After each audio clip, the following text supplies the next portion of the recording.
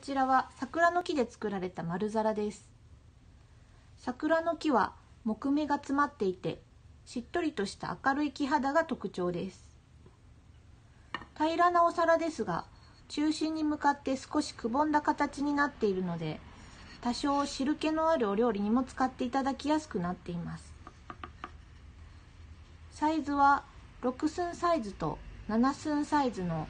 小中2種類のサイズがあります。6寸サイズはパン皿やケーキ皿として7寸サイズはワンプレート料理にも使いやすいサイズです。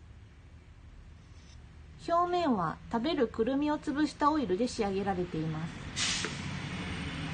オイル仕上げにすることで木のそのままの良さを伝えられるようにしています。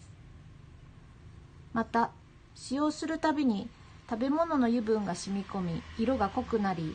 艶も出てきます。長く使って自分だけの器に育ててみてください以上いくら工房さんの桜の木の丸皿のご紹介でした。